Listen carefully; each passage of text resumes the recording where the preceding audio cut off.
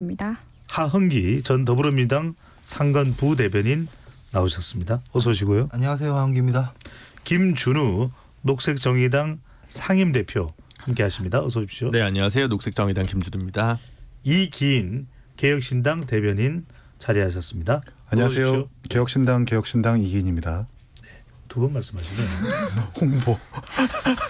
자, KBS 열린 토론 문자로 참여하실 분은 샵 9730으로 의견 남겨주시고요. 단문 50원, 장문 100원의 정보 이용료가 붙습니다. KBS 1라디오의 모든 프로그램은 유튜브에서도 함께 할 수 있으니까요. 청취자분들 많이 유튜브로도 함께 들어와 주시면 좋겠습니다. 자, 어, 오늘 뭐 공천 이야기 안 할 수가 없습니다.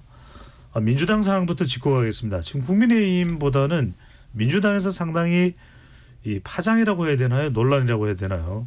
많은 이슈들이 터지고 있습니다.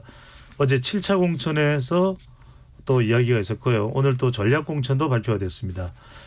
어, 정청래, 서영교 등 친명은 단수 공천이다. 비명은 경선이다. 비명 학살 공천 논란이 계속되고 있고 오늘 분당갑에는 이광재 전 사무총장이 전략 공천 되기도 했습니다.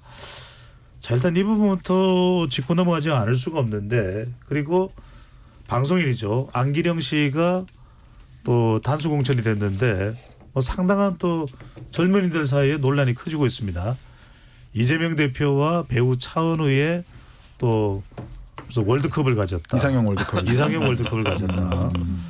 또 지금 한동훈 위원장도 얘기를 하고 있지만 그 부분이 또 각종 언론 보도에서 또 재소환이 됐습니다. 2년여 전에 이재명 대표의 뭐 코딱지를 떼주는 또 상황까지도 뭐 연출되는 이런 모습까지도 지적이 되고 있는데 그러다 보니까 뭐 공천 내용이 어떠냐 뭐 어, 여론조사 뭐 비선 여론조사다 어쩌냐 이런 논란을 떠나서 상당히 좀 일파만파 커지고 있는 상황입니다. 하은기 전 부대변인은 어떻게 보시는지요? 한심하고 유치하다고 생각해요. 안기령 부대변인이 뭐 정치적 역량이 모자라 가지고 공천이 부적절하다면은 뭐 논리적으로 내용이랑 사례를 가지고 비판하면 될 문제인 것 같고 네. 제가 봐도 도봉갑에 공천하는 것은 별로 맥락이 없어 보이긴 하지만 그것도 뭐 당의 판단이 있었겠죠. 근데 그거를 논리적으로 비판하는 게 아니라 집권 여당의 수장이란 사람이 무슨 인터넷에서나 떠들 만한 음. 예능에서 웃자고 이야기한 장면 하나 갖고 와가지고 뭐 아첨꾼이 있네 없네 이런 얘기 하고 있잖아요. 근데 그렇게 따지면은 그 당의 오선 중진인 김영선 의원 이런 분들 보면은 그 막 이태원 참사 현장에서 어 유족들이 이 단식하고 있는데 그 같은 기간에 노량진 가서 수돗물 퍼먹고 이랬거든요. 음. 그건 정치 활동입니까? 아첨 아니고. 그리고 얼마 전에 본인이 직접 공천한 이수정 교수. 음. 그러니까 뭐 수원에 한동훈 비대위원장이 뜨니까 인파가 몰려가지고 육교가 흔들리더라. 이거는 뭐 다큐인가요? 아첨이 아니라 그렇잖아요. 음. 그리고 제가 많이 비판하는 장예찬 전 최고위원 그분은 아첨이 아니라 뭐 국민 눈높이에 딱 맞는 언행을 했기 때문에 그래서 그 정당이 gatekeeping을 못하고 지금 경선 붙이고 그러나요? 똑같단 말이에요. 그 당도. 그래서 비판을 하려면은 집권 음. 여당의 수장쯤 되면 내용과 사례와 논리를 가지고 해야 되는 거지 음. 유치하게 무슨 차은우가 어쩌고 저쩌고 그 인터넷에나 떠들 만한 그런 얘기를 하고 있으니 집권 여당이 그런 자세로 이 국정을 운영하고 있으니까 나라가 이 모양 이 꼴- 이 꼴인 거 아니냐 네. 이런 말씀을 드리지 않을 수가 없습니다. 어, 제가 주로 이제 토론의 끝부분에 말씀드리는 경우가 많았습니다. 오늘은 어, 상당히 또 격렬한 토론이 예, 예상돼서 오늘 나온 패널들은 그듭 어, 자기가 소속된 어, 조직 내에서 입장을 대변하는 내용도 있을 수 있기 때문에 어, KBS의 공식적인 어, 내용과는 또 상관이 없다라는 무관하다는 점을 참고하고 들어주시면 좋을 것 같습니다. 그럼요. 자 백지원 전 상근 부대변인은 어, 어떻게 보시는지요? 어, 사실 안기령 상근 부대변인의 전략 공천이 문제가 됐던 거는 도봉과 큰 연고가 없는 인재인데 그리고 대표적으로 친명으로 분류되는 인사가 전략 공천 받은 상황 때문인 것 같습니다. 어, 저도 뭐 과거 유튜브에서 이상형으로 차은우 씨를 언, 차은우 씨와 이재명 대표 중에 이재명 대표가 낫다라거나 이런 장면들이 네. 정치적으로 그렇게 큰 의미가 세- 있다고 생각하지는 않는데요. 음. 지금 그 정도로 극단적으로 친명이 아니면 제대로 공천을 받을 수 없다라는 공포감이라든지 그런 분열이 격화가 되고 있기 때문에 그런 과거의 장면들도 지금 논란의 지점에 있는 것 같고요. 사실 뭐 차은우라는 유명인 때문에 계속해서 정치권에서 재생산되고 있는 것 같습니다. 어떤 네. 어떤 정당 논평도 쓰고 했는데 이런 식으로 어, 연예인들이 정치권에서 언급되는 것을 굉장히 꺼려하기 때문에 좀 음. 주의해야 할 측면도 있는 것 같고요. 국민의힘 입장에서는 이번에 도봉갑이 주목받은 만큼 저희 후보인 김재섭 위원장이 좀 좋은 성과를 거두기를 바라는 마음입니다. 그내 반론을 한번 하고 싶은데 네. 김재섭 뭐 위원장 같은 경우에는 그 정치적 영향이 있다는 것도 인정하는데 연고 얘기를 하셨으니까 원희룡 장관이나 함은정 이분은 그러면 마포랑 계양을에 뭐 연고 있어가지고 공천했습니까? 아니잖아요. 다 당의 전략적 판단에 따라서 하는 거 아닙니까? 그러니까 실제로 부, 뭐 부적절한 인사를 공천했으면은 그 사람의 정치적 역량을 가지고 얘기하면 되는 거인데 그리고 연예인 얘기하면은 그 사실 국민의힘에서 이정재 씨랑 뭐밥 먹고 그런 게 제일 많이 나오는데 너무 억지란 얘기죠 저는 안기령 부대변인이 어디 공천받고 이런 거 연고 따지고 뭐 연예인 따지고 이런 것들이 집권 여당에서 할 만한 얘기가 아니다 이런 네, 말씀드립니다. 그렇습니다. 저는 뭐 우리가 특정 후보자에 대한 주제를 삼고 있는 건 아니니까요. 어, 김준우 김준우 대표께는 제가 사실 상, 하은기 전 상근 부대변인에게 부대변인에게 여쭤보고 싶었던 것은 물어보고 싶었던 것은 이재명 대표와 가까운 사람들이 속속 공천을 받는 것에 대해서 어떻게 판단하고 평가해야 될까 이 부분을 사실은 질문을 하려고 했던 것인데 네. 네 차은우가 나오니까 또 이야기가 엉뚱한 데로 간 것 같은데 의도하신 것 같은데. 그렇게 여쭤봤으면 저도 그렇게 대답했을 텐데. 네. 안규백 더불어민주당 전략공천 위원장이 시간이 없어서 내일쯤에는 결론을 내려야 된다고 했는데 임종석 전 비서실장에 대해서 이렇게까지 미뤄지고 또 미뤄지는 배경이 뭘까요? 근데 이건 저는 예를 들면 이게 조금 저는 하, 이게 확인되지 않은 이야기를 얘기하기는 좀 어려운 부분이 있어서 저도 굉장히 조심스럽습니다만 예. 원래 약간의 좀 리스크들이 있는 거 아니냐 뭐 이런 의혹들이 좀 있었잖아요. 임종석 전 비서실장 개인에 대해서. 근데 이제 그게 워낙 오래전 일- 일이기 때문에 사실 뭐라고 할까요? 사법 리스크라고 하기엔 아마 좀 시간적으로 동떨어져 있을 수도 있다고 생각해요. 근데 그런 점 때문에 사실은 뭐 노영민 비서실장이나 임종석 전 비서실장이나 이런 사람들 공천이 좀 어렵다고 봤는데 이거를 어, 문명 갈등 프레임으로 되면서 노영민 전 비서실장 공천을 받았습니다. 네 그래서 네. 그런 과정 속에서 이제 어쨌든 좀 오히려 프레임워크가 성공하면서 지금 이 임종석 어, 전 비서실장에게 뭐 지역군 어디가 됐든 간에 공천을 주지 않으면 문명 갈등이 실제로 있는 것처럼 되는 곤란한 처지에 처해진 것 같다. 음. 그러면 이게 무슨 얘기냐면 거슬러 올라가서 노웅래 의원 컷오프를 지난주에 하지 않았습니까?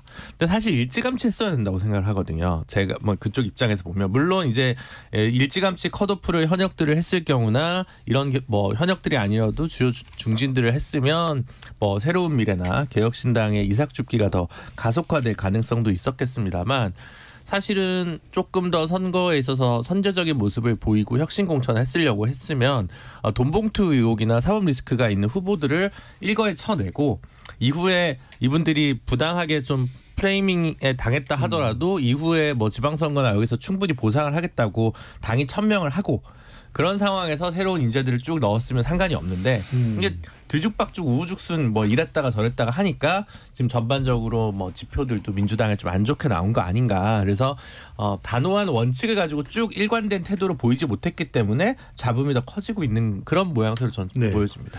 이기인 대변인께도 여쭤볼게요. 왜냐하면 하은기 전 부대변이 민주당 소속이니까 이전에도 여러 방송에서 나와서 왜 빨리 임종석 전 실장에 대해서 철회하지 못하는지 어, 잘 이해가 안 된다는 이야기를 했던 걸 제가 기억을 합니다. 이기인 대변인이 보시기에 빨리 결정하면 될 일인데 왜 미루고 미루고 미루고 미루게 된 걸까요? 생각보다 반발 이 정도의 반발을 예상하지 못한 것 같아요. 음. 네, 왜냐하면 임종석 같은 경우에는 어, 여론조사에서 배제를 하지 않았습니까? 공천 신청을 했는데 여론조사에서 배제되고 해당 같은 지역구에서 공천 신청도 안 했지만 추미애 전 장관을 여론조사에 넣어놨단 말이에요. 이런 방식으로 이재명 대표와 결이 다른 후보들을 사실상 배제하려고 했는데 지금 노웅래 전 의원, 노웅래 의원도 마찬가지고 이수진 의원도 마- 마찬가지고 이 파동이라고 하는 것이 생각보다 파급이 너무나 크기 때문에 사실상 임종석 의원을 어떻게 처리하지 못하고 그냥 갖고만 가는 상태인 것 같아요. 그리고 오늘 고민정 의원이 아주 좋은 말했던 것 같아요.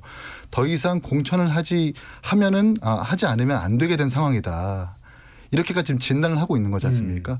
아무래도 이재명 대표 비명 학살이라는 논란이 커지다 보니까 이것을 봉합하려면 임종석 의원에 대해서 결국은 공천을 해야 되지 않을까라는 생각을. 제가 그 요새 언론이나 뭐 뉴스에서 잘 다루지 않는 얘기를 좀 음. 드릴 텐데 하나만한 얘기 다 치우고 시스템 공천 얘기 많이 하잖아요. 하위 20% 같은 경우에는 지난 총선에서 있었고 지금- 지금도 있어요. 근데 지난 총선에서 하위 20%에 걸린 사람이 누군지 아무도 몰라요.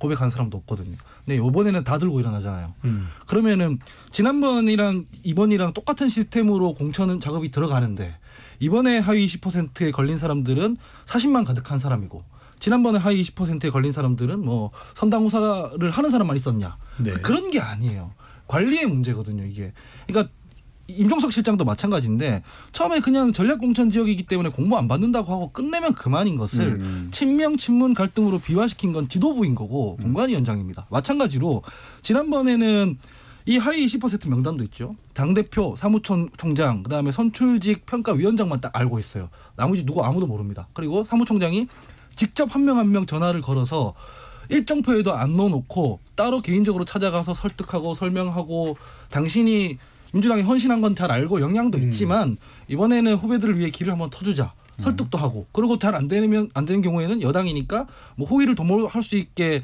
역할 조정을 해주거나 이렇기 때문에 그게 잡음 없이 끝났어요. 근데 네. 이번에 어떻게 하고 있다고 합니까? 공관위원장이 상관도 없는 공관위원장이 전화 뒷걸어가지고 당신 하위 20%인데 뭐 나도 어떻게 된지 모르고 난 통보만 하는 거다고 끊잖아요. 이런 식으로 구조조정하고 공고사직하면 일반 노동자들도 파업하고 시위하고 난리가 납니다. 인생이 부정당하는 것 같기 때문에 그래서 시스템 공천대로 하는데 지금 이 개별 의원들이 난리친다고만 볼 게 아니라 지도부가 지금 이 시스템 운영과 관리를 못 하고 있다는 점에 음. 대해서 비판을 좀 당내에서도 해야 되는 겁니다. 하은기 전 부대변인께 확인차 다시 여쭤봅니다. 공천관리위원장이 하위 20% 의원들에게 연락을 했는데 왜 그러냐는 거에 대해서는 설명을 못했다는 겁니까? 그거는 박용진 의원이라든가 송갑석 의원이 밝혀주시는 거에 따르면 본인이 통보받기로는 공관위원장이 전화 와가지고 당신이 하위 10%다, 하위 20, 20%다, 어떻게 선정된지는 모른다, 난 통보만 하는 거다, 뭐 이렇게 짧게 통화하고 끊었다는 거잖아요. 네. 세상에 어느 조직에서 그런 식으로 사람을 정리하고 관리합니까? 사실은 알겠습니다. 국민의힘 백지원 전 상가 부대변인에게 또 여쭤봅니다. 자, 민주당도 시스템 공천이라고 그러고 국민의힘도 시스템 공천이라고 하는데 정작 이 공천 잡음은 현저하게 국민의힘이 덜 나는 편입니다. 안 나는 편이라는 말씀은 아니고요. 더불어민주당의 김민석 상황실장은 8년 전에 정해진 기본틀이 있다. 의원 평가는 상호 평가, 당직자 평가, 지역 주민과 당원 평가, 다른 사람들에 의한 평가에서 점 차이가 나는 구조다. 당원과 주민, 동료 의원 등 평가가 주로 작동하고 지도부의 입김이 끼어들 틈이 없다. 이렇게 이야기는 하고 있습니다만 계속해서 공천 파장은 퍼지고 서른 의원까지 곧 거짓 표명을 하겠다는 이야기가 나오는데 백지원 전 부대변인이 보기에 국민의힘과 어떤 차이가 있길래 국민의힘은 좀 소리가 적게 나는 편이고 민주당 좀 소리가 크게 나는 이유가 뭘, 뭐라고 보시는지요? 네, 저는 컷오프된 민주당 노웅래 의원님의 발언이 참 인상이 깊었는데요. 금품 재판 받는 게 나 혼자냐 하고 단식 농성을 하셨습니다. 저는 금품 재판에서 국민들께서 한 번 놀라고 나 혼자냐에서 두 번 놀라셨을 것 같습니다. 민주당에서 지금 김민석 상황실장 본인부터 정치자금법 위반으로 확정 판결을 받은 분이신데 이런 분이 중책을 맡고 단수홍천을 받은 상황에 대해서 지금 배제된 후보들이 분명히 반발을 가질 것이라는 생각이 들고요. 어, 국민의 도덕적 기준에 미치지 못하는 사람이 어떤 기준으로 평가하고 심사한다는 것인지 많은 여론들이 좀 공감하지 못하는 상황들인 것 같습니다. 그리고 노골적으로 지금 친명에 대한 챙겨주기가 있기 때문에 어느 당에서나 물론 대표와의 관계가 공천에 뭐 우호적으로든 안 좋게든 작용은 할 수 있지만 이렇게 극단적인 사례는 드물지 않나라는 생각이 들고요. 민주당의 분열은 사실 지금의 일만이 아니라 이미 현실화되어 있습니다. 공천 전부터 조국 신당이라든지 새로운 미래라든지 여러 갈래로 찢겨져 있는 상황이고 민주당에서 탈당을 하시는 의원들도 선택지가 지금 두 개가 더 있기 때문에 앞으로 분열이 조금 더 가속화될 것 같고요. 또 대표적인 비명 인사인 박용진 의원 또한 저는 비명 행사의 피해자라는 생각이 드는데 박용진 의원의 해당 지역구에는 친명 자객이라는 정봉주 전 의원이 출마를 합니다. 그런데 이분은 예전에 DMZ 발목질에 밟으면 목발 경품으로 주자라는 발언을 할 정도로 DMZ 목함질의 피해 장병들에게 모독을 했다라는 논란도 있었고 뭐 미투 논란이라든지 여러 가지 문제가 많은 분인데 과연 이런 사람이 경선을 치를 자격이 있는가에 대해서도 비판이 있는 것 같고요. 어, 전체적으로 봤을 때 국민들이 공감하기 힘든 도덕적 기준을 갖고 있다라는 점에서 아무래도 엄격하게 좀 비판이 있는 것 같습니다. 네. 어, 백지원 전 부대변이 이 친명에게 유리한 평가가 이루어졌다는 것은 백지원 전 부대변인의 주장이니까 참고를 해주시기 바랍니다. 자 그런데 이제 김준우 상임대표에게 궁금한 건 이런 부분입니다. 자 김성한 인재영입위원회 간사가 평가 비중이 큰 의원 간 다면 평가, 당직자의 의원 평가, 권리당원과 일반 국민 여론조사 평가가 지난해 11월과 12월에 이루어졌다. 그리고 그에 앞서 이재명 당대표의 체포 동의안 가결이 이제 이루어졌다라는 것도 이제 상당히 논란이 되고 있는데 그렇지만 전혀 지도부가 개입할 여지가 없다 이렇게 이제 얘기를 하는데 여기서 한 가지만 좀 여쭤보면 지금 상당히 큰 논란이 되고 있는 게 민주당의 여론조사 기관입니다. 거의 국민들이 보기에 일반 국민들을 이야기하는 겁니다. 잘 들어보지 못했던 기관들 특히 상당히 총선 여론조사나 방송사 여론조사 담당으로 알려진 한국갤럽이나 한국리서치, 리서치앤리서치, 케이스탯리서치, 뭐 리얼미터 등 단 하나 하나의 회사도 포함이 되지가 않았는데 이런 부분들의 논란을 어떻게 봐야 될까요? 더군다나 지금 크게 논란이 되고 있는 것이 거의 못 들어본 분들이 많을 거예요. 리서치 DNA가 뭐 추가로 선정됐다는 음. 보도가 된 내용입니다. 논란인데 네. 그러니까 우리가 오비 일학이라서 까마귀 날자 배 떨어질 수 있는데 이런 걸 철저히 배제해도 의심을 사고 오해를 사는 게 공천인데 그렇죠. 경험이 있으시니까요. 네. 왜 이렇게 했을까요? 왜 이렇게 됐을까요? 그러니까 저는 이 기존에 차라리 김성환 의원 이 얘기를 안 하는 게 음. 논란을 죽였을 맞지. 텐데 네. 논란을 더 키워서 저는 음. 이분은 그러면 왜 이러시는 걸까? 뭐 옳은 말을 한 걸까? 아니면 어 지금 자당의 논란을 부추긴 걸까? 일단 이 1차적으로 이 부분부터 먼저 짚어야 될 것 같거든요. 그러니까 의원 담원 평가에서 이게 사실은 그 여의도 바닥에 국회 혹은 이제 뭐 많은 분들이 언론인 중에서 저 같은 사람들도 진짜 잘 모르겠는 의원이 한한 한 30에서 50명은 있어요. 음, 네. 예, 누구도 몰라요. 뭐 하는지. 예, 그래서 아 그런 분들이면 어지간히 이제 이런 다면 평가로 10% 20%좀 걸러내겠지 자동으로. 음. 예, 말은 안 해도 이런 걸로 처음에 설계했던 것 같은데 이게 어 여러 개파가 있는 게 아니라 지금은 범명이 아주 크고 나머지 두드러진 이제 비명 반명이 있는 상황에서 이런 평가 툴 자체가 되게 공교로운 시기에 안 좋은 방식으로 작동을 해서 네. 계속 이제 소수파를 쳐낸 방식이 아니었냐. 사실은 지난 총선 때도 마찬가지였죠. 대표적인 비주류 중진들 예를 들면 뭐 물론 경선을 통해서 어, 나가신 분들이 많습니다만 뭐 그게 뭐 이종걸, 이석현 이런 분들이라든가 항상 보면 이제 비주류였어요. 비주류가 계속 퇴장하는 음, 비주류 중진이 계속 퇴장하는 역사였기 때문에 그래서 계속 이대로 가다가는 이게 어, 민심에 부합하는 평가 툴은 아닐 것 같다라는 평가는 분명히 민주당 내부에서 말씀 도중에 죄송한데 네. 제가 궁금한 것은 많은 사람들한테 알려져 있고 네. 출구 조사를 담당했거나 전화 면접 조사를 수행하는 기관들을 선택하지 않은 뭐 이유가 있나요? 아, 그거는 이제 어디로 넘어갈지 몰라서 그렇죠. 무슨 말씀이죠? 그러니까 사실은 여론조사 업체가 여러 군데랑 거래를 하면 음. 당에서 은밀하게 돌리고 싶은 데이터가 다른 당에 넘어가지 않으리란 법이 없죠, 사실은. 아 그러면은 이번에 선정한 회사는 그런 게 충분히 보장된다고 판단을 한 그거는 거고요. 뭐 제가 알 길은 없지만, 네. 그러니까 언론사에서 하는 것은 어쨌든 다 이제 공개를 해야 되잖아요. 그리고 물론 이제 특정 시기 이전에는 뭐 무소속 후보든 누구든 할 수 있지만 이제 선거에 가까워질수록 사실은 여론조사를 돌려놓고 공개를 안 하고 중앙 여론, 선거 여론조사 심의위원회 홈페이지에 안 올리고 대신에 공표하지 않는 데이터를 돌리려면 그거는 당은 가능하지 않습니까? 당은 가능한데 이럴 때 이제 특정 업체들한테 맡기기가 좀 뭐 비밀이 새는 것에 대해서 별로 이제 보완을 요구했지 않았을까라고 하는 합리적 의심이 하나 들고 네. 두 번째는 나쁘게 보면 이 또한 어떤 특정한 뭐라고 할까 게이트나 이렇게 몰아주기 일감 몰아주기에 가능성이 있는 거 아니냐라는 의심을 반대파에서는 해볼 수는 있겠죠. 네.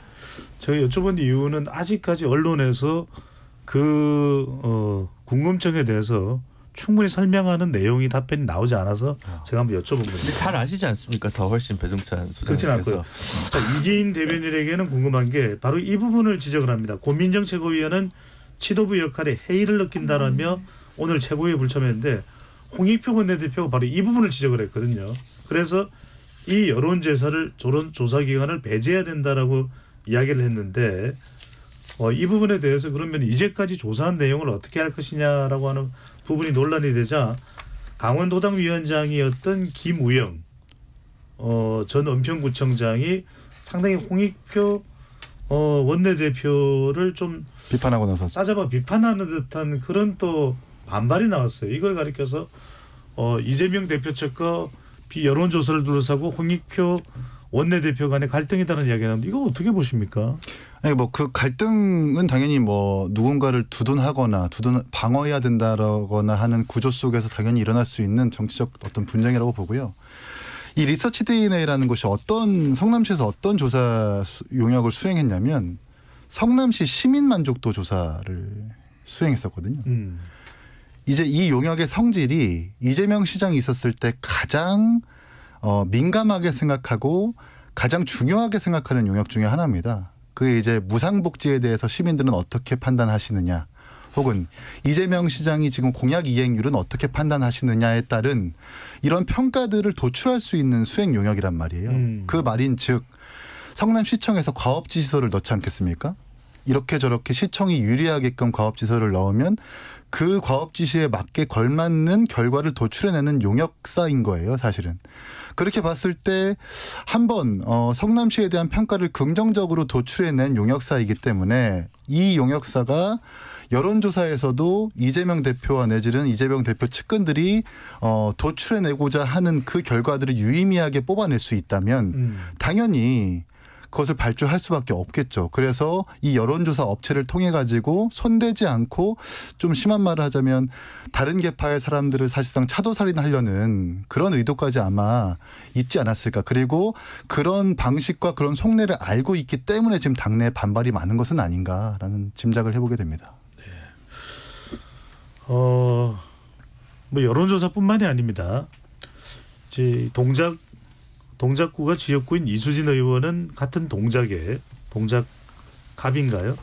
김병기 의원에 대해서 정치자금법 위반 의혹을 제기하면서 자신이 탈락한 게 해당 의혹을 당에 알렸기 때문인 것으로 본다. 이렇게 이제 반발하고 있는데 자 이수진 의원 반발 부분도 어떻게 봐야 될지 물론 잠깐만요 이재명 대표의 백현동 의혹에 대해서도 이제 거론을 한 바가 있었는데 지금 동작을은 누가 전략 공천에 됐든 누가 결정이 됐습니까? 아직 결정 안 된 걸로 알고 그 일각에서 네, 어, 추미애 전 장관이 또 거론된다 그러면서 되고 있는 걸로 알고 있습니다. 이수진 의원을 걷어내고 추미애 전 장관이 웬 말이냐 이런 지적도 있습니다.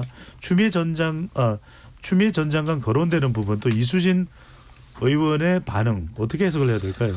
이수진 의원 께서는 요새 그 왜 젊은 사람들이 유행처럼 말하는 음. 인생의 좋은 경험이라 생각하고 열심히 인조경. 해야지 뭐 방법이 없다. 아니 왜냐면은 백현동 얘기니 뭐니 이런 것들이 음. 공천 탈락하고 지금 하고 있는 얘기잖아요. 이 설득력이 있겠습니까?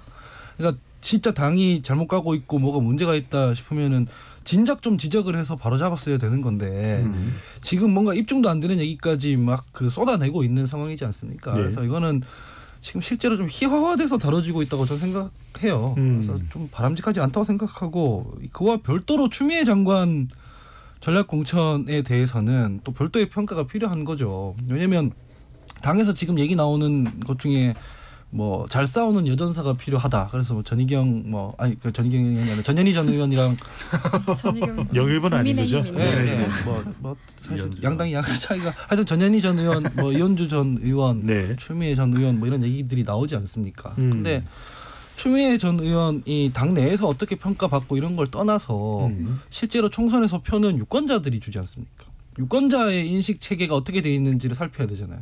유권자들 상당수는 추미애 전 장관께서 뭐 장관 수행하면서 열심히 했는 것과 별개로 지금 대통령하고 계신 윤석열 검찰총장의 체급을 키워준 당사자라고 인식하는 유권자들이 아주 많습니다. 그러면 본선에서 표는 그 유권자들한테 받아야 하는데 유권자들의 인식과 정반대의 전략 공천을 하면 이게 총선 전략이 제대로 가고 있느냐라는 비판이 있을 수밖에 없는 것이고 음. 근데 그런 얘기를 용기 있게 하는 사람이 별로 없죠. 저 같은 사람 말고는 목 내놓고 다니는 사람 말고는 왜냐면은 워낙 팬덤이 강하니까요. 네. 근데 이런 식으로 공천 전체가 벌어지기 때문에 이게 비명이냐 친명이냐 문제가 아니라 실제로 본선 경쟁력이 있냐 없냐로 따져가면서 국민 눈높이에 맞춰야 하는데 음. 그게 전혀 안 보이기 때문에 지금 다들 난리가 나 있는 거고 지지율도 떨어지고 이런 거거든요. 지금이라도 방향을 좀 바꿀 필요가 있어 보입니다. 백지원 전 부대변인은 물론 우리가 남성 여성으로 가리는 건 아닙니다만 최근에 이재명 여전사 3인방 뭐 언론에서 만들어낸 명칭인지 모르겠습니다만 어, 전현희 전 국민권익위원회 위원장 추미애 전 장관 이현주 전 의원인데 국민의힘에도 소속이 돼 있었던 바가 어, 있는 것으로 아는데 이렇게 여전사 3인방 이렇게 여성이 전면에 부각되는 부분에 대해서는 어떻게 보시는지요? 어, 민주당에서는 여성 우대 정책들을 지지한다거나 여성에 대한 할당 같은 것들을 적극적으로 시행하고 있는 정당이기 때문에 뭐 이게 새롭거나 뭐 놀라운 일은 아닌 것 같은데요. 다만 동작을의 추미애 전 의원이 이제 고려가 되고 있는 상황에 대해서는 어, 나경 국민의힘 나경원 전 의원이 여성 판사 출신이라고 해서 끼워 맞추기 식으로 좀 생각을 한 게 아닌가라는 생각이 들고요. 그리고 이현주 전 의원께서는 전투력이 높으신 분으로 평가를 받고는 있지만 글쎄요.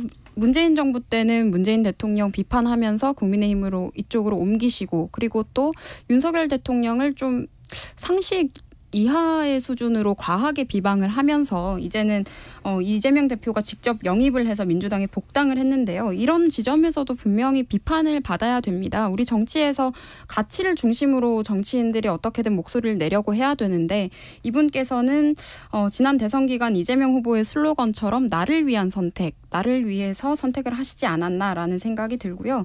어, 친문계에서 특히 복당을 반대하고 비판을 하셨었는데 음. 문재인 정부에 대해서도 좀 어, 이- 이거는 뭐 납득할 수 없을 정도로 좀 과하게 비판을 한 측면이 있었기 때문에 분명히 그 정부와 그 세력에 일조를 했던 인원으로서 하기에는 좀 부적절한 발언들을 했기 때문에 네. 그런 반발도 당연해 보이고 앞으로 이현주 의원의 갈짓자 행보들이 좀 귀추가 주목이 됩니다. 또 다른 당 가실 수도 있을 것 같고요. 언제든지. 네, 그건 뭐 알 수는 없는 거니까요. 김준희 대표께 이렇게 여쭤봐야 될 것 같습니다. 지금 뭐 임종석 어, 전 음, 비서실장에 대해서는 민주당이 주저주저하면서 또 지난 4일 2월 4일이었죠. 평산 책방을 방문했던 이재명 대표를 어, 극도로 또 환영을 했던 문재인 전 대통령인데 자신의 비서실장인 임종석 전 실장은 어, 공천이 미뤄지고 추미애 전 장관은 상당히 부각되는 모습. 또 임종석 전 비서실장 관련해서 지금 보도로 전해진 바입니다만 이해찬 전 대표가 상당히 경로했다. 이재명 대표에게 임종석 전 실장에 대해서 왜 그렇게 거부하는 반응을 보이느냐. 문재인 전 대통령이 이쯤 되면 뭐 국정 운영 기간에도 크게 뭐 화를 내는 모습은 잘 안 보이지만 화를 삭히는 건가요? 그냥 화가 안 나는 건가요? 글쎄요. 저는 이 부분은 제가 뭐 이렇게 하면 거의 추론의 영역이지만 제가 확실히 알고 있는 건 네.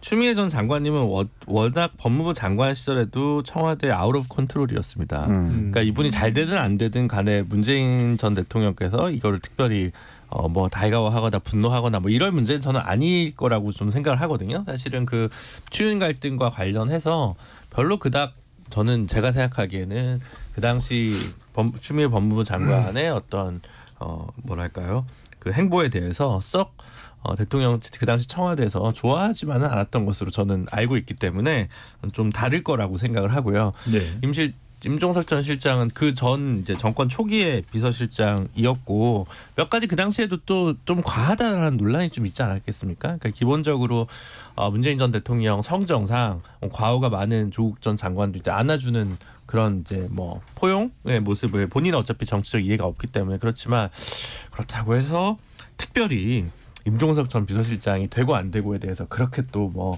엄청 어 뭐 감정 이입을 할까라는 생각을 전 좀 해보거든요. 그래서 특별한 그런 거 없을 것 같은데. 문재인 대통령 전 대통령 변수는 터지지 않을 것이다. 네. 자, 이 대목에서 이기인 대변인께 여쭤봐야 될 것 같습니다. 김종인 전 국민의힘 비대위원장이 공천관리위원장으로 영입이 된 거죠. 네.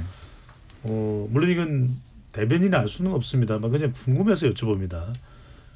왜냐하면 더불어민주당의 또 비대위원장을 2016년에 역임한 바가 있었죠. 자 박용진, 김영주, 임종석, 추미애, 이현주 건에 대해서 김종인 공천관리위원장은 어떻게 처리를 할까요? 김종인 공천관리위원장이 처리할 수 있는 위치에 있다면요. 아 만약에 김종인 공천관리위원장이 민주당이었다면요. 처리할 수 있는 위치에 있다면요. 있다면요. 그건 뭐 그런 상황이 일어나지 않을 것이기 때문에 사실 예상하는 것이 의미가 없죠. 다만 네.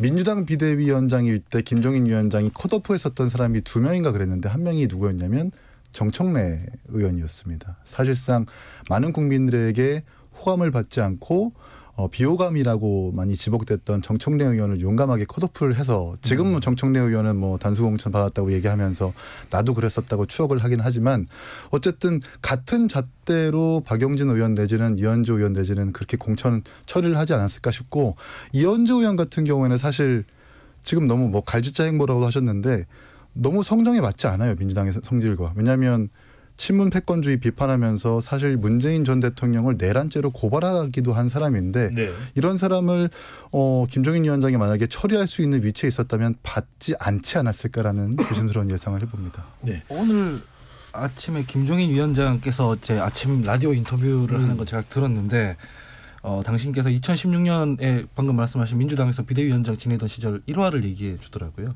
민주당에 갔더니만 당시 민주당 인사들이 당 우리 당에는 당내 평가에 관해서 평가 준칙이라는 게 있다. 시스템대로 나온다.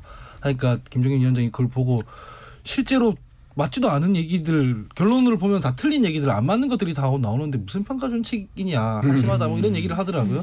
제가 드리고 싶은 말씀은 시스템이라는 게 절대선이 아니라는 얘기예요. 음. 시스템으로 정청래 의원이라든가 예찬 전 의원이라든가 뭐못 걸러낼 수 있죠. 하지만 그게 선거에 도움이 안 되고 유권자의 표를 얻는데 도움이 안 되면은 정무적인 판단이다 이러면서 컷오프 시켜버리잖아요. 음. 사람이 하는 일이기 때문에 본선에서 우리가 유권자의 신뢰를 어떻게 얻을 수 있는가 이걸 중심으로 놓고 봐야지 이거 다 시스템이 했다 이러면은 AI에 그냥 넣고 돌리면 되는 거 아니겠습니까? 네. 그래서 좀 지도부로서의 역할을 해주셨으면 좋겠다. 황희 부대변인이 말씀을 하신 김에 좀 추가적으로 여쭤보겠습니다. 뭐 국민의힘과 관련되는 이야기라면 나중에 우리가 따로 네. 2부에서 하기로 하고요. 민주당 일각에서도 이른바 선거 승리를 위해서 친명 희생론, 친명 어, 불출마 요구 또 이 있는 것으로 알고 있습니다. 뭐 조정식 사무총장이나 정성호 의원들, 어, 이재명 대표도 가뜩이나 여론에 상당한 압박을 받고 있는 상황에서 좀 중진 결단을 해야 되는 것 아니냐 친명 희생론이 나오고 있는데 이건 어떻게 보시는지요? 정무적 판단이라는 게 그런 겁니다. 이를테면은 이해찬 대표가 불출마 선언한 상태로 혁신 공천을 했고 문재인 대표 같은 경우에도 후퇴하고 난 뒤에 불출마 선언하고 난 뒤에 공천했지 않습니까? 원래 자기 파를 날려놓고 이 소위 집도를 하기 시작하면은 반발을 잘 못해요. 나도 기득권 내려놨으니까 당신들도 기득권 내려놔라 할 수 있으니까. 근데 친명에 해당하는 분들 책임 있는 분들은 다 출마하는 상태고 뭐 단수 공천 받고 이러는데 반대파에 대해서만 혁신 공천하겠다고 하면은 그리고 왜 그 농담처럼 나오지 않습니까? 어떤 분이 뭐 비명의 가죽을 뭐 벗겨서 뭐 친명의 가죽 잠바 만든다 이런 비판이 나오는 거예요. 그래서 네. 실제로 남한테 기득권 내려놓으라 할 때는 본인도 내려놔야 설득력이 올라간다 이런 취지로 생각해 주시면 좋겠습니다. 네. 김준호 상임대표 보기에는 지금 국민의힘은 잠시 뒤에 얘기를 나누겠지만 민주당의 경우에는 올드보이가 있습니다. 박지원 전 국정원장, 정동영 전 장관 아직 공천 최종 결과가 안 나왔죠. 네, 그렇습니다. 이분들은 어떻게 될까요?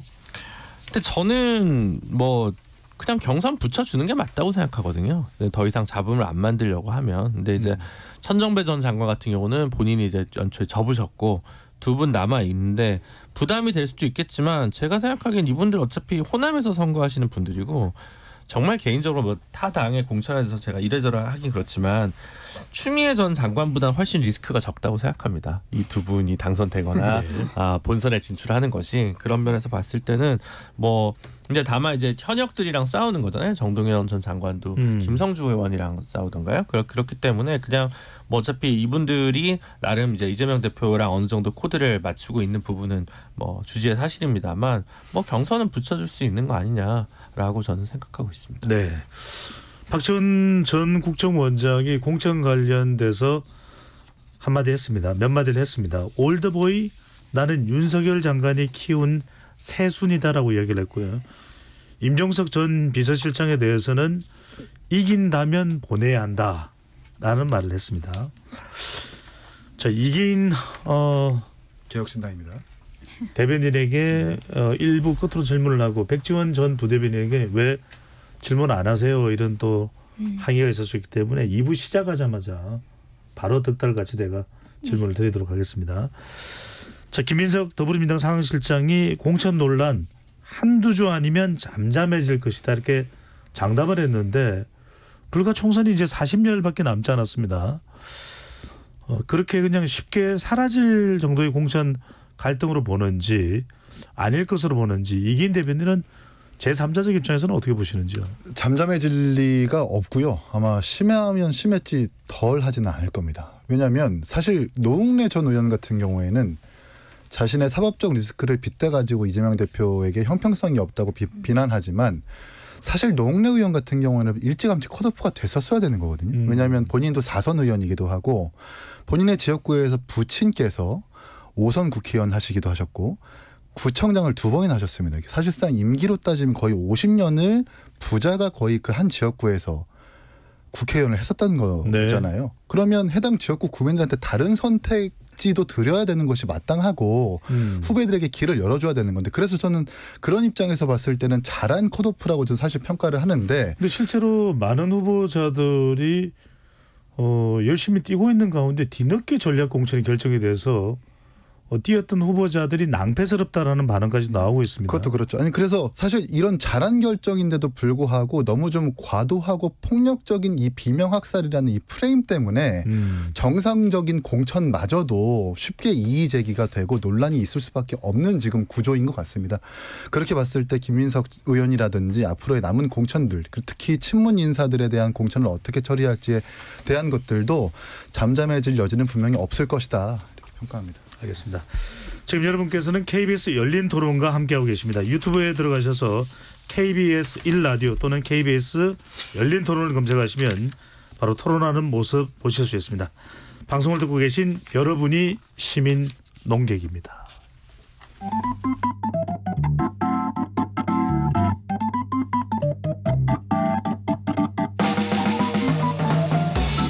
세상을 바꾸는 질문 열린 토론이 시작합니다. KBS 열린 토론은 언제나 열려 있습니다. 단문 50원, 장문 100원의 유료 문자 샵 9730 그리고 KBS 어플리케이션 콩으로 여러분의 의견을 남겨주세요. KBS 열린 토론 2부 이어가겠습니다. 정치의 재구성입니다. 하흥기 전 더불어민주당 상근 부대변인 김준우 녹색정의당 상임대표 이기인 개혁신당 대변인 박지원 아 죄송합니다 백지원 네 큰일 날 뻔했네요 백지원 전 국민의힘 선, 어, 선대본부 상근 부대변인과 함께하고 있습니다. 일부에서는 공천 자금으로 논란이 되고 있는 더불어민주당 상황이 어떤지 자세하게 짚어봤고요. 2부에서는 국민의힘 공천 상황 또 각자 도생의 길로 접어든 제3지대 상황을 살펴보도록 하겠습니다. 자 약속했던 대로 어, 박지원 아닙니다. 백지원 전 상근 부대변인에게 여쭤봅니다. 자 오늘도 단수 공천 발표가 있었고요. 또 오늘 발표를 보면 윤석열 대통령의 대통령실 참모인 이원모 전 인사비서관도 용인에 공천이 됐나요? 네.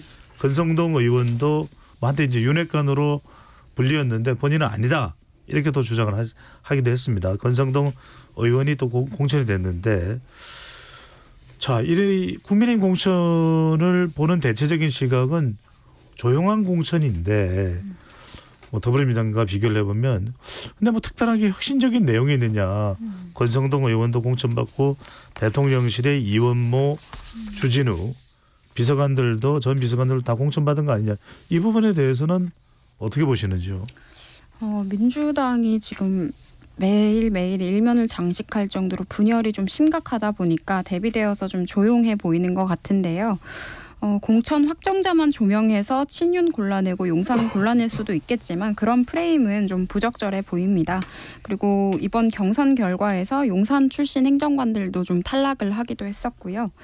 음, 권성동 의원의 단수 공천이나 이원모 인사비서관의 사례는 함께 카테고리로 묶기는 조금 다른 상황인 것 같은데요. 네. 권성동 의원은 무소속으로 출마한 이력과 삼선 이상 동일 지역구 때문에 감점을 좀 크게 받았는데도 타 예비 후보들과 지지율에서 격차가 매우 컸던 것으로 확인이 됩니다. 그래서 공천 룰에 따라서 단수 공천으로 확정이 된 것이고 이런 친윤 프레임이 저희 당에서 오랫동안 있어 왔기 때문에 오히려 감점 요소거나 불이익으로 작용했을 가능성이 있고요. 이것 때문에 공천에서 권성동 의원이 이득을 볼- 보았다고 보기는 어려운 것 같습니다. 그리고 이원무 비서관 같은 경우에는 원래 강남 출마를 좀 희망했던 것으로 아는데 당에서 적절히 용인으로 이동을 시킨 것 같아요. 그리고 용인은 민주당 의원의 지금 현역 지역구기 때문에 어, 강남 출마와 용인 출마는 좀 성격이 분명히 다른 것 같습니다. 조금 더 도전적인 시도를 해보려고 했던 것이 반영된 지점인 것 같고요. 네. 음, 우리 정부의 우리 정부의 탄생과 당의 승리를 위해서 꾸준히 기여해온 인재들에 대해서 무조건 친윤 프레임으로 어, 뭔가 불이익을 줘야 된다라고 이야기할 이유는 없는 것 같습니다. 저는 개파에는 관계없이 본인의 역량 따라서 차분하게 평가를 잘 이루었으면 좋겠습니다. 네. 김준우 대표는 어떻게 보십니까? 민주당에 비해서는 조용하다. 그래서 민주당은 공천 파장, 이른바 뭐 국민의힘은 무난한 공천 이렇게 해석할 수도 있지만 또 더 깊숙이 들여다가 보, 들여다 보면 특별한 큰 변화를 어, 이끌어내지는 못하는 공천이다라는 비판도 받을 법한데 어떻게 보시는지요? 그러니까 뭐 약간은 근데 어쨌든 본인들 뜻과는 달리 이제 청와대 출신이나 검사 출신들 같은 경우 약간의 희생을 보고는 있어요. 음. 네, 이제 뭐 박민식 전 장관도 다들 알다시피 부산 강서 전재수 의원 무서워서 분당으로 올라가려 그랬는데 분당에서 안 돼가지고 지금 영등포로 이제 다 또 가는 거죠. 이현모 비서관도 이제 뭐 용인으로 이제 어째 흘러 들어간 게 사실 본인 의지라고 보기는 어렵고 석동현 검사장 같은 경우도 사실은 뭐 송파에서 컷오프 됐고 뭐 약간의 그런 건 있습니다. 근데 국민들은 뭘 보냐면 강원도를 예를 들어 볼까요? 권성동 의원 나왔으니까 이철규, 유상범, 이양수 다 그냥 공- 그냥 공천이에요. 아무 변화가 없구나. 기득권이 그대로구나라고 이제 보여지니까 뭐 민주당도 중진들 뭐 상당히 지금 많은 재선들이 삼선으로 그냥 올라가고 삼선들이 사선으로 많이 올라가서 이번에는 지난번 국회보다 선수가 조금 더 평균 선수가 좀 더 쌓일 것 같아요. 지금 음. 이게 뭐 제3지대 효과의 나비 효과라고 볼 수도 있는 측면이 있는데 그래서 감흥이 없, 없죠. 감흥이 별로 없고 그래서 기대가 되지 않는 그래서 지금은 약간 중간에 시작부터 뭐 손준성 보냄으로 이상하게 됐지만 예를 들면 뭐 김웅 의원이 이제 뭐 등원을 했었단 말이죠. 네. 지난 국회 때 보수에서 아 그 저 정도가 좀 신선한 혁신 공천이구나 개혁적인 인- 인사를 그래도 나름 양지라고 할수 있는 송파에 넣었구나 이런 게좀 음. 각인이 된단 말이에요. 기억이. 근데 지금 그런 기, 그런 게 없어요. 그런 게 없고 아. 그 지난번 지난주에도 말씀드렸지만 뭐 이경 전 장관 뭐 그다음 이해운 전 의원 그다음 누구죠? 저기 이영 전 장관입니다. 아, 이영 아 죄송합니다. 이영 전 장관 어, 저기 이해운 전 의원 하태경 의원인가 셋이 네. 성동에서 붙나요?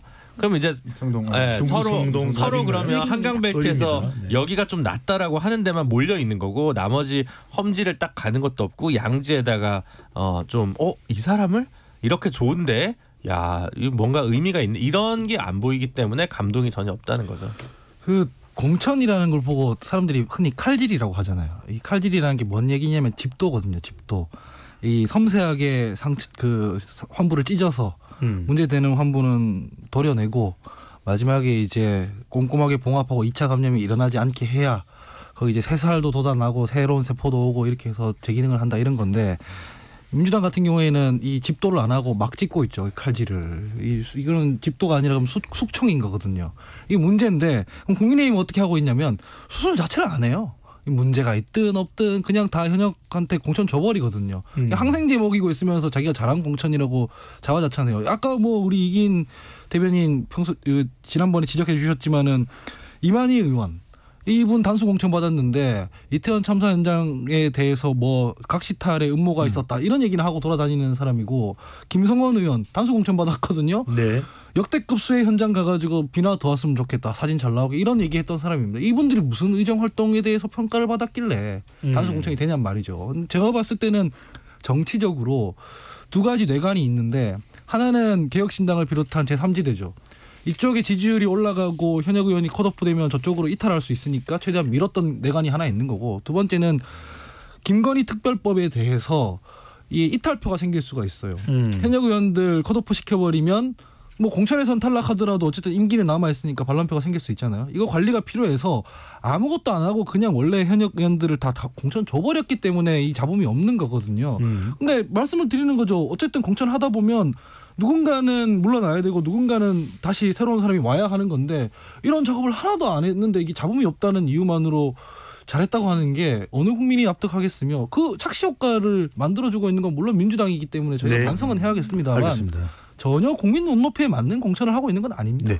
백지원 전 부대변인이 반론이 있을 수 있으니까 반론이 있으면 하시고 바로 그 다음에 이기인 대변인으로 가겠습니다. 네, 저는 현역 물갈이론에 대해서는 조금 공감을 하기가 어려운 지점이 현역이라고 해서 이유 없이 불이익을 줄 상황은 아니라고 생각을 하거든요. 앞으로 당이 운영될 때 중진의 역할이 있고 초선의 역할이 있는 것이고 그래서 저는 경쟁력을 담보하고 지역 구민의 지지를 받는 후보들을 현역이라고 해서 컷오프한다거나 뭐 물러나라고 압박을 준다거나 이런 것들은 오히려 차별적인 지점이 될 수 있다라는 생각이 들고요. 어, 이번에 저희 국민의힘 공천에서는 청년 신인에게는 최대 20% 가점을 부여를 했고 동일 지역구 삼선 의원들 대상으로 15%에서 최대 35%까지 감산하는 경선 룰을 진행을 했었습니다. 그래서 사실 처음에 이 룰을 저희가 발표를 했을 때는 다들 현역 물갈이 될 것 이다, 위기가 올 것이다라고 예. 많이 부추겼었는데요. 막상 또 결과를 보고는 물갈이를 못했다라는 비판이 있으니 아 조금 이거는 비판하는 입장에서 모순적인 부분이 아닌가라는 생각이 좀 듭니다. 그 모순적이라고 하니까 짧게 재반론할게요. 제가 현역이니까 물갈이를 해야 된다는 게 아니고 딱 이름을 거명해 드렸잖아요. 이유가 있는데도 여기에 대해서 평가를 하지 않는 것이 문제다. 이 말은 이유 없이 현역이라서 뭐 물갈이해라 이런 얘기가 아닌 거죠.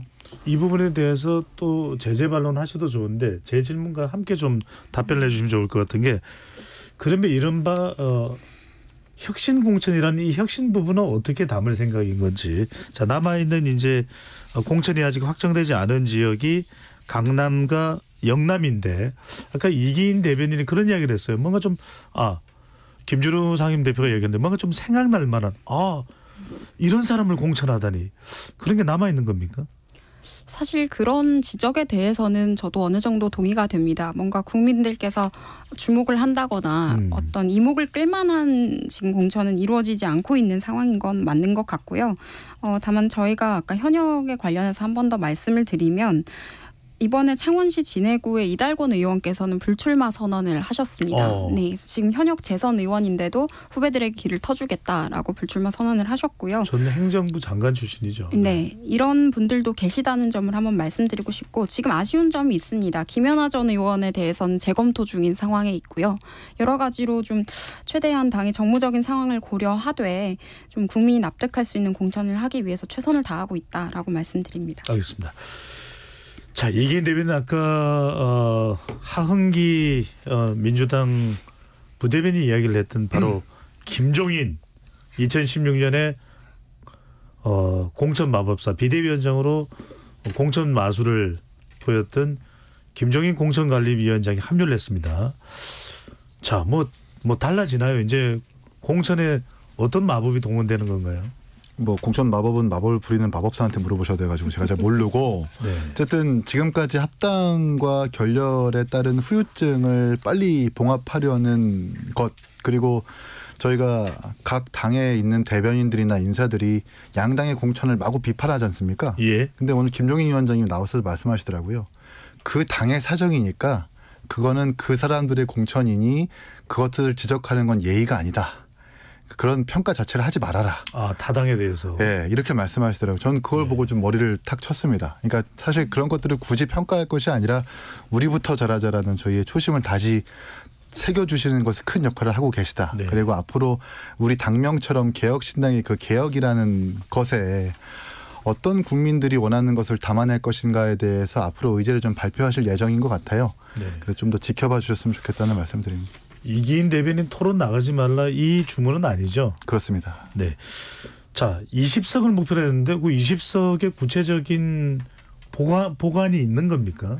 아무래도 지금 오늘 오전 최고위원회에서 이준석 대표가 밝혔듯이 지역구 출마자들이 지금 7, 80명 정도로 늘어났고 김종인 위원장을 영입하게 되면서 어, 지방부터 시작해서 전국의 많은 분들이 출마 문의가 쇄도하고 있습니다. 네. 네, 확실히 합당이 결렬됐을 때보다 훨씬 더 많은 관심을 갖게 됐기 때문에 그러한 장점들을 봤을 때, 어, 이 교섭단체가 가능하다라는 좀 희망을 가지고 계신 것 같고, 교섭단체라는 그 기준이라는 게 사실 양당에서 마구 싸울 때 중간에서 거중조정자로서의 역할이 꼭 필요하다고 인식을 하시는 것 같아요. 아마 음. 그런 의미에서 말씀하시지 않았을까 싶습니다. 네. 그래도 어, 교섭단체 20석을 약속했기 때문에 상당히 선거 결과가 총선 결과가 김종인 위원장의 김종인 박사의 이미지에도 심대한 또 영향을 줄 것 같은데 김준우 상임 대표에게는 이게 궁금합니다.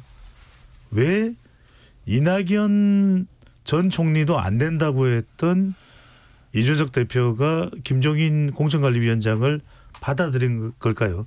친해서 네. 친하잖아요. 원래.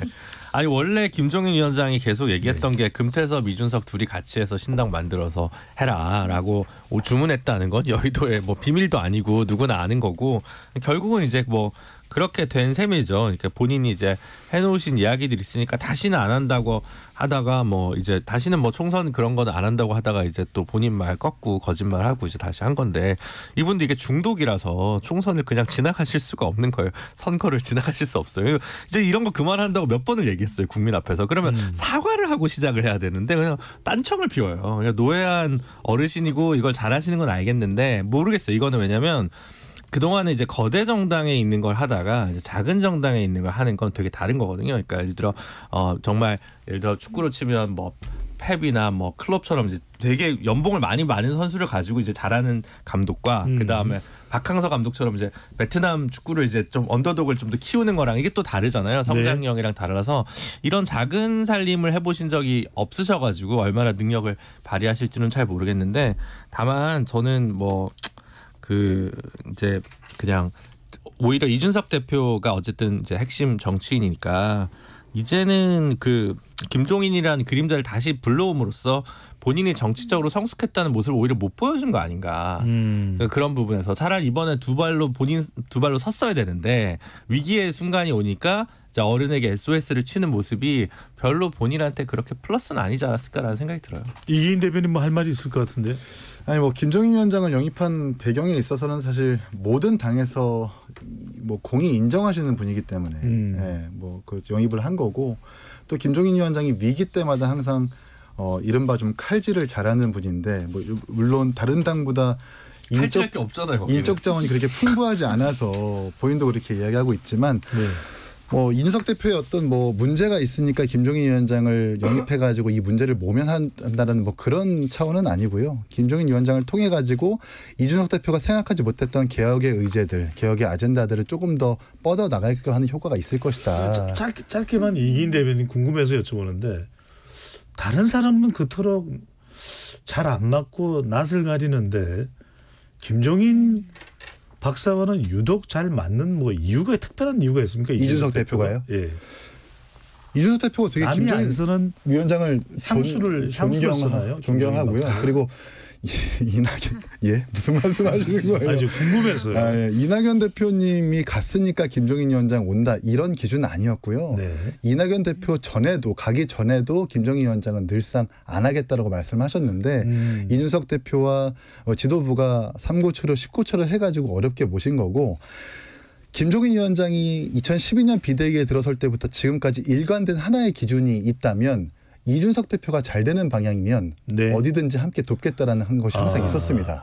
예, 한기 부대변인 말씀 전에 제가 뭐 향수를 예를 든 건 그냥 뭐 참고로 아, 예, 예, 예, 참고하겠습니다. 잘 예, 예. 예, 이해가 안 되는데 어떤 특별한 이유가 있는지를 궁금해하는 그러니까 차원에서 네. 어, 이야기했다라는 거. 말씀을 좀 마무리하자면, 네. 그러니까 오늘 최고위원회 회의에서도 말씀하셨다시피 두 당의 어, 어떤 싸움에 있어서 국가 발전을 더 이상 기대할 수 없기 때문에 이제는 진짜 정치 세력이 나와야 된다라는 진정성 있는 그 기대가 있었던 것이고 네. 두 번째는 이준석 대표가 정말 앞으로 이 이런 복잡한 정치 상황을 타개할 정치적 어떤 이런 인물로 좀 평가하시는 게 큰 것 같습니다. 그렇기 깜- 때문에 함께 깜짝 놀랄 만한 누군가가 영입될 가능성 약간 힌트를 주실 수 있나요? 그러니까 뭐 누구라고 거론하지는 못하겠지만 어, 비례대표 명부에서 어, 여러 가지 좀 새롭고 깜짝 놀랄 만한 인물들이 있기는 있더라고요. 아하. 그래서 여기 지금 제 말을 듣고 계시는 청취자분들이 좀 많이 관심을 가졌으면 좋겠다. 한 명 정도 의원이 들어가나 보다.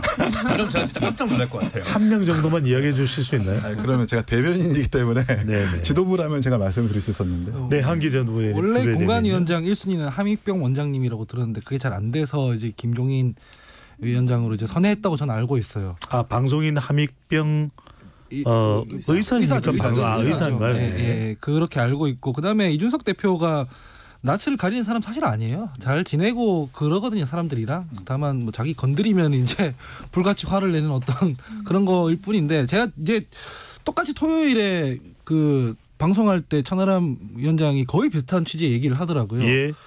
이 보수에서는 김종인 위원장이 약간 드래곤볼처럼 여기는 경향이 있다. 그러니까 어떤 정당이 흉가가 되면 어쩔 줄을 몰라 하다가 김종인 위원장이 오면은 뭐든지 다 해결이 될 거다. 약간 소원 빌면 다 해결되는 것처럼 이렇게 마치 그 예. 반지의 제왕이 내- 나왔던 누군가를 떠올리게 만드네. 예, 그래서 사실상 흉가를 잘 인테리어한 커리어는 있는 게 사실이잖아요. 민주당이 흉가했을 때 잘 인테리어해서 멀쩡하게 굴러가게 하고 뭐 국민의힘이 흉가했을 때는 또 잘 인테리어하고. 그래서 지금 개혁신당 흉가 아닙니까 흉가. 흉가 빨리 뜯어 고치려고 불렀다. 인간은 또 뭡니까? 증축공사 잘못해가지고 지금 예, 막 예. 그벽 허물어지고 천장 무너지고 하니까 이거 위원장께서 잘 공사하려고 오셨다. 2017년 대선 때는 뭔가 나서셔서 해보려고 했는데 잘 안 됐잖아요. 예. 그러니까 이제 제3지대에서 원래 잘 하신 적이 없어가지고 미래통합당 때. 네. 그렇군요. 자, 백지원 전 부대변인 어 이준석 대표에 대해서도 일절 별 언급을 하지 않는 한동훈 위원장입니다. 김종인 위원장과 관련해서 뭐 당 내에서 뭐 언급이 있나요?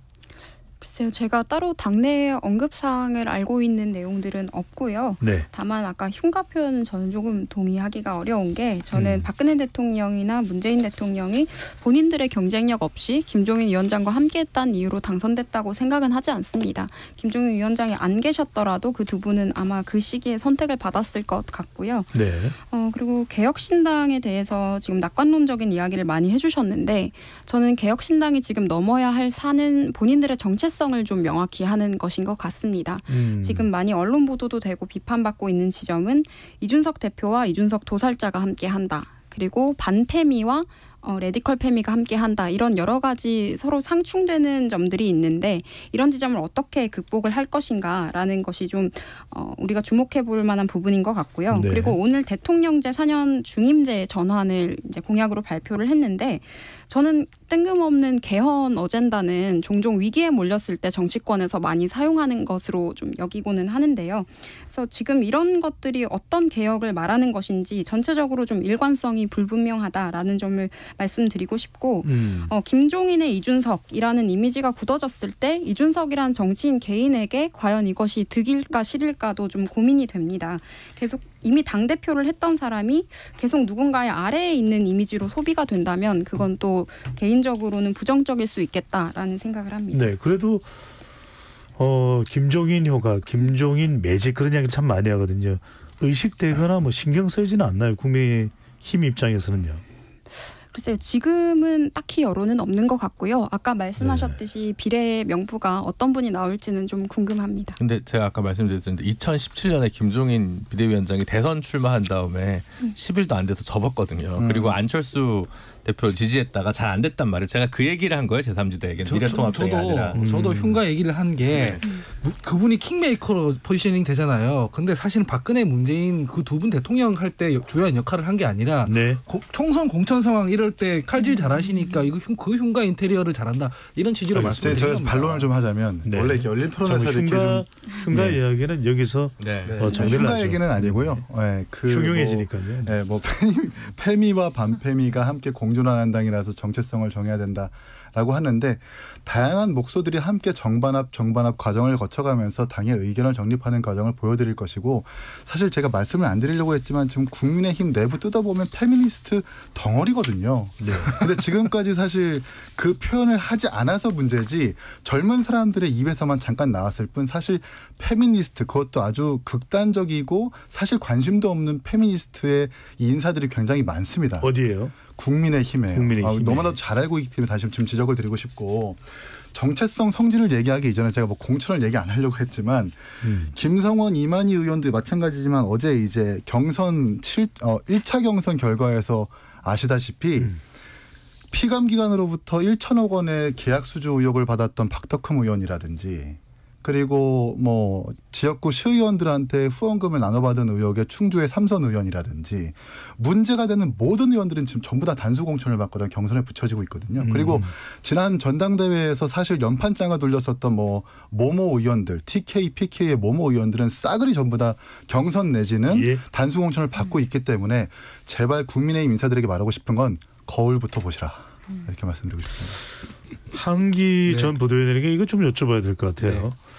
자, 어쨌든 서른 의원도 하위 평가를 받았나요? 네. 어, 조만간 거취 표명을 하겠다라고 얘기를 하고 있는데 뭐 무소속으로 가게 될지 다른 당으로 가게 될지 어, 새로운 미래 합류 가능성도 점쳐지고 있고 전직 민주당 의원 출신 인사들이 또 새로운 미, 미래에 또 몸담고 있는 의원들이 있죠. 네. 또 현직인 김정민 의원도 있고요. 현역 의원인데 자 이렇게 새로운 미래로 합류하는 의원들 수도권의 출마 가능성 상당히 다수가 될 수 있다는 진단도 나오는데 이건 어떻게 보시는가요?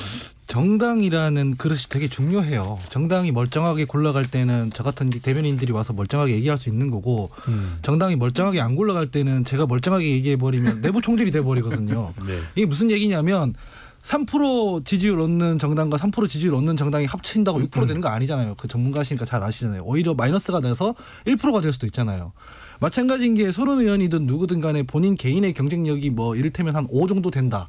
그런데 어느 특정 당에 들어갔을 때 그 당의 경쟁력 합쳐져서 8이 되고 10이 되는 게 아니에요. 예. 오히려 그 정당이 그릇이 안 되면 5의 경쟁력도 깎여서 2가 되거든요. 그럴 바엔 무소속으로 나간다는 얘기죠. 그렇기 때문에 새로운 미래에서 진짜 현역 의원들을 많이 받으려면 오늘 아침에 김종인 그 위원장 했던 것처럼 뭐 개헌 의제라든가 음. 국민들이 관심 가질 만한 의제를 만들고 지지율을 확보해서 그릇이 되어줘야 거기에 들어와서 출마를 하는 거지. 그게 아니면 어, 당을 이탈하더라도 무소속 출마를 할 가능성이 더 높아질 거다 이렇게 전망합니다. 새로운 미래로는 많이 안 갈 것이다. 현재로서는 그렇습니다. 네. 녹색 정의당도 신경 쓰이는 당이 있을 건데 계획신당도 마찬가지일 텐데 최근에 어 제가 별도로 지지율은 말씀을 안 드립니다. 이건 뭐 개요다 말씀을 드려야 돼서 상당히 조국 신당이 주목받고 있다. 경쟁력이 나름 뿜뿜하고 있다는 이런 평가가 나오는데 녹색 정의당 입장에서 볼 때는 어 신장식 변호사도 어 조국 신당의 1호 인재 영입이 됐고요. 또 황운하 의원, 소병철 의원도 조국 신당에 가는 거 아니냐 이렇게 점쳐지기도 그런 관련되는 보도가 있어서 말씀드린 겁니다.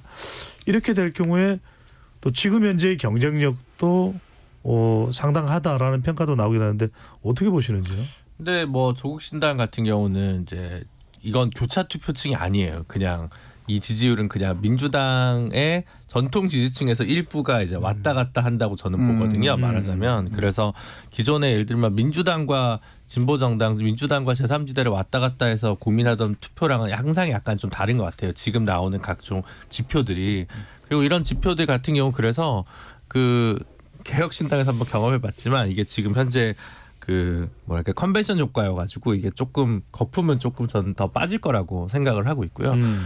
어 공천에 있어서 뭐 승부가 나겠습니다만 지역구에서는 특별히 이제 저는 승부 보지 않을 거라고 보고 있습니다. 그냥 물론 호남에서는 크- 크게 부담 없이 하겠지만 어, 황운하 의원처럼 대전에서 격전지 같은 경우에 오히려 이쪽은 확실하게 민주당과 친근한 노선이기 때문에 네. 예, 그런 일은 없을 것 같고 네 알겠습니다.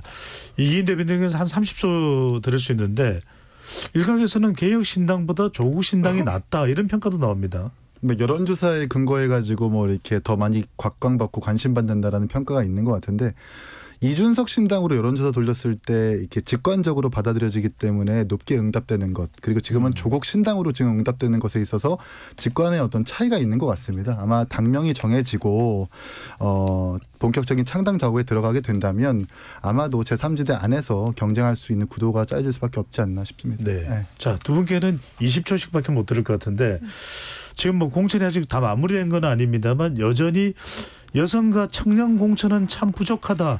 이런 비판을 여전히 받고 있습니다. 이 부분에 대해서 한기 전 부대변인부터요. 여성과 청년이 실력이 없겠죠. 그 뭐 억지로 할당해서 될 일이 아니고 본인들이 알아서 잘 커서 지지를 받아야 된다 생각하고 아마 이번 총선에서는 진보당, 기본소득당, 이 위성정당 있지 않습니까? 민주당 지지층이 내 표로 진보당 인사들 표 당선되는 거 싫어가지고 많이 분산이 될 거예요. 아까 저, 그 김준우 대표와 그 알겠습니다. 전망과 달리. 자, 백지원 전 부대변인도 15초 정도요. 네. 네. 어, 국민의힘이 지금 강남이나 특정 지역구에 대해서 국민 추천제를 좀 검토를 하고 있는데요. 지금 아직 검토 사항이라서 어떤 내용이 구체적으로 잡혔는지 모르지만 이 새로운 시도가 잘 운영된다면 네, 그동안 당에 대해서 어, 저희가 갖고 있었던 정형화된 틀을 깰수 네. 있는 시도가 될 것 같습니다. KBS 열린 토론 이것으로 마무리하겠습니다. 지금까지 배종찬이었습니다.